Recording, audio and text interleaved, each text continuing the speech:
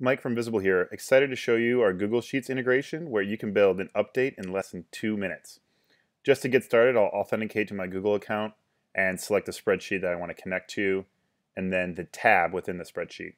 Uh, I'm going to go ahead and pull up the spreadsheet just so you can see all the data I'm automatically going to pull into my Visible account and what that looks like.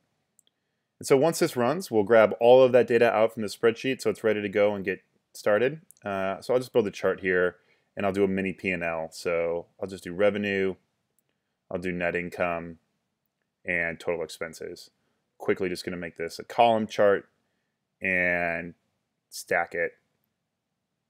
I'm going to go ahead and save this chart to my dashboard and quickly just one click add this to an update I want to send out and I'll call this update uh, testing.